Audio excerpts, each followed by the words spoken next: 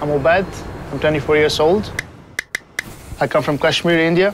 I've been here in Denmark for one and a half years, studying my master in Aalborg University, Esbjerg.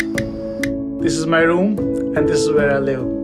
This is the common kitchen area. Ciao a tutti ragazzi!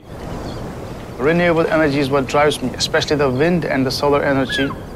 We can produce clean energy from the natural resources without polluting the world, and that's how we are going to sustain ourselves. And I want to be part of that. Aalborg University has a huge reputation in the whole world in the field of power electronics and renewable energy. Most of the stuff here at the university is paperless. Tickets are digital. I pay by my app. It is very smooth and convenient.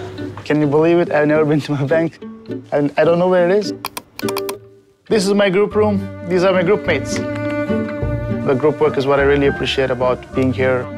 You work in close collaboration with the companies, so you develop connections with the industry at a very early stage. I work for a company which produces technical equipment for sustainable fish farming. My motivation to apply for this job was getting to know the Danish work culture and working in a sustainable company. I consider myself a very social person. Has it been easy to make friends here?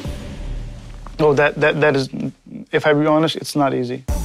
I'm part of amateur theater group. It's just a small family I have. Once you make friends, they just stick with you. My Mondays are incomplete without my theater group.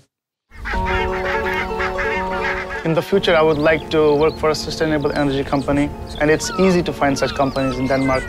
Or I could just start up my own company. It's highly encouraged in Denmark to start up your company. There are so many opportunities to work here in Denmark.